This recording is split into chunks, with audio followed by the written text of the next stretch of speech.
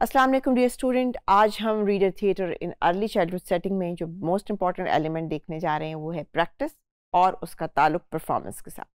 सो so, एक बहुत important सिंग आप, आपके सामने होगी और आपको आती होगी कि practice makes the things perfect definitely आप जितनी प्रैक्टिस करते हैं उतनी आपकी फ्लुएंसी डेवलप होती है उतनी आपकी अंडरस्टैंडिंग बेहतर होती है उतनी आपकी अंदर जो उसकी आपकी जो मेमोरी है वो आपकी जो एक्शंस हैं उसको बहुत आराम से इंगेज कर सकती है। सो so, प्रैक्टिस और जो रिपीट करवाना है बच्चों को आ, वो उनके लिए बड़ा फ़ायदेमंद है कि जब आप रीडर थिएटर कर रहे होते हैं जब वो अपनी परफॉर्मेंस करने जाते हैं तो वो परफेक्टली परफॉर्म कर लेते हैं मिनिमम एरर्स और मिस्टेक्स के साथ।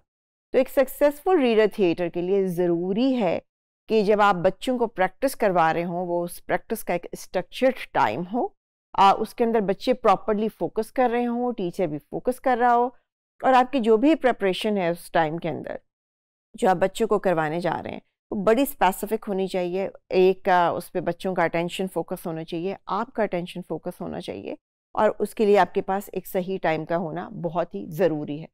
तो हमें बच्चों को सबसे इंपॉर्टेंट चीज़ ये है कि इतना टाइम ज़रूर देना है जिसमें वो इनफ प्रैक्टिस कर लें। और वो कॉन्फिडेंट फील करें कि वो रीडर थिएटर में सामने आके परफॉर्म करने के लिए तैयार हैं। मोस्ट ऑफ़ द टाइम बच्चे बड़े कॉन्फिडेंट होते हैं, लेकिन जैसे ही थिएटर सामने आता है वो डर जाते हैं। ये एक अलग चीज़ है।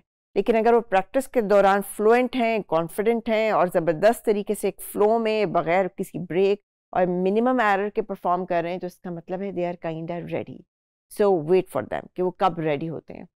सो रीडर थिएटर में बच्चों ने कब परफॉर्म करना है, ये उनको डिसाइड करने दें। जब उनको लगे कि yes I am ready let them give a chance at that time कि वो तब आएँ और तब अपनी परफॉर्मेंस के लिए तैयार रहें।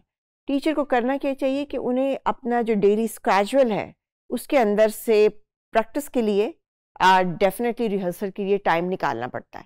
और ये रीडर थिएटर जब होने वाला है, उससे कम अज़ कम एक हफ़्ता पहले या दस दिन पहले ज़रूर ये प्रैक्टिस जो है आप शुरू करा दें।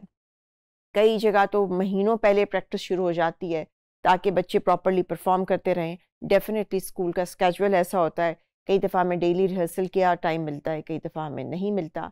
आ, जो बच्चे बड़े होते हैं आ, वो ज़्यादा इंडिविजुअली काम कर सकते हैं प्रैक्टिस कर सकते हैं अपने घर में रिहर्सल कर सकते हैं आ, या छोटे स्मॉल ग्रुप्स के अंदर भी उनकी रिहर्सल और प्रैक्टिस डेफिनेटली हो सकती है।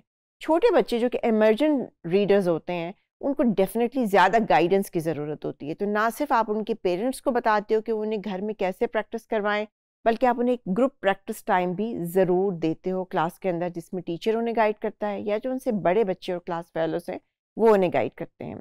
अब प्रैक्टिस की जो ड्यूरेशन है, वो डेफिनेटली चेंज हो सकती है। जब शुरू के दिन हो सकते हैं तो हो सकता है प्रैक्टिस का टाइम थोड़ा कम हो, बीच के दिनों में ज़्यादा हो जाए एंड के दिनों में और ज़्यादा हो जाए या अगर प्रैक्टिस बहुत अच्छी हो रही है तो टाइम कम या ज़्यादा डेफिनेटली चेंज कर सकता है टीचर देखते हुए कि बच्चों की आ, किस किस्म की परफॉर्मेंस है और बच्चे मज़ीद कितना और टाइम चाहते हैं।